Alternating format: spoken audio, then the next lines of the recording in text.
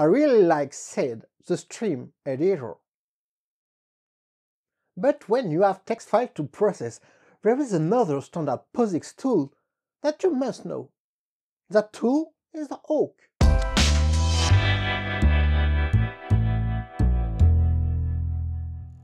One obvious difference between SED and Awk is that later is using a much more explicit syntax.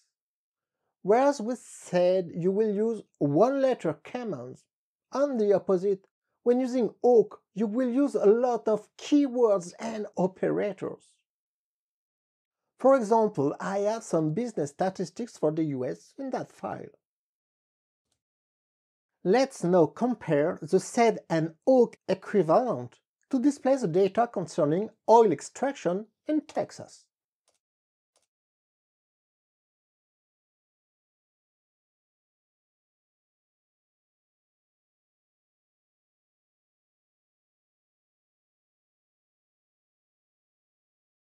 Those two commands will produce exactly the same result, as you can see it right now.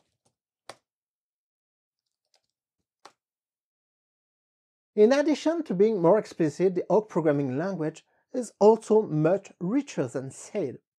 For example, instead of writing one complex regular expression, you can combine several of them using logical operators. Keep only data containing the word Texas, or Texas in all upper cases, and oil extraction.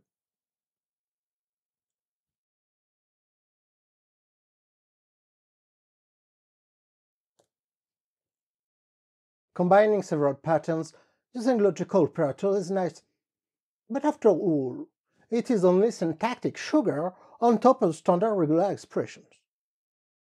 The real difference between SED and Awk lies in the data model they assume.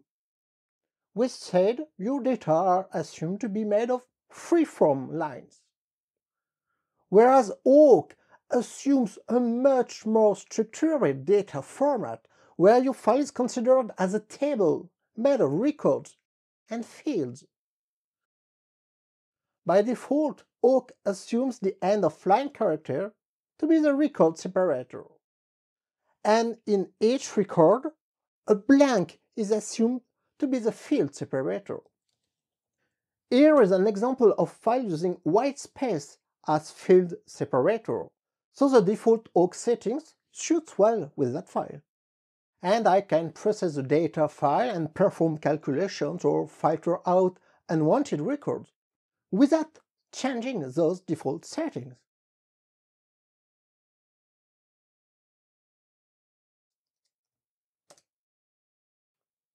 But let's go back to my initial data file.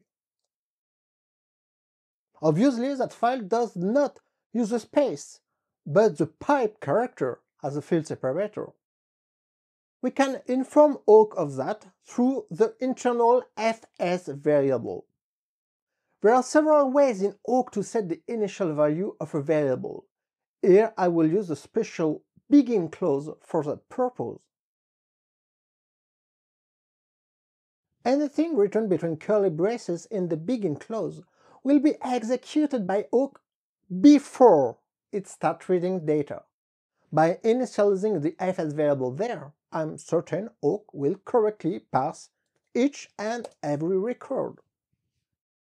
But you may have noticed something strange here.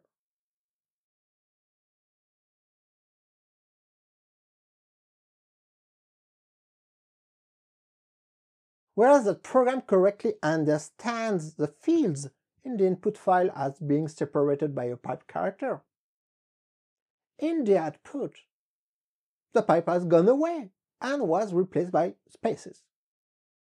This too can be fixed using another Awk internal variable, the output field separator.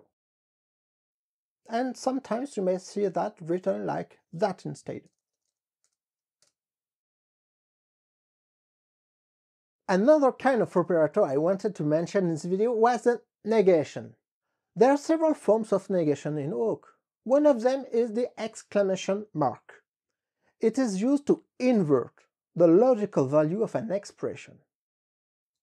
Using the NOT operator, I can now extract all data except those concerning the state of Texas.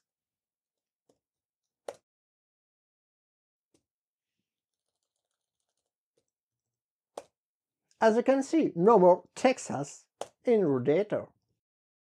Simply said, the selector I used here kept only records whose field 3 was not equal to Texas. In other words, it keeps only record whose field 3 is different than Texas.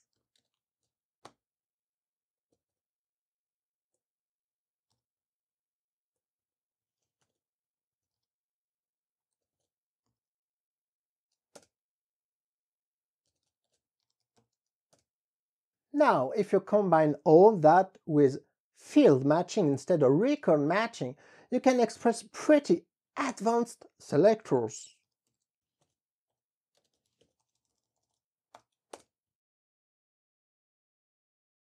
This awk program will keep the first two records or record those field 3 is not Texas and field 8 is the year 2012 and having field 5 containing the word oil, but not in the expression except oil.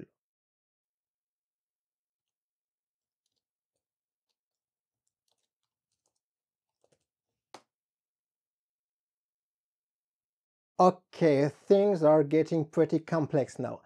And the best way to master that complexity is by practicing yourself. So, as a little challenge, could you write an awk program to process my data file in order to produce exactly that result?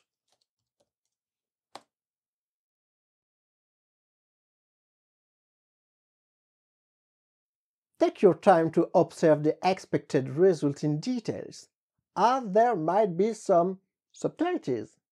Anyway, you should be able to achieve that result using only what we've just seen here. But of course, you're absolutely not limited in your creativity. All I want is you achieve that result using only Awk. As of myself, I'm really looking forward to reading your solution in the comment section below.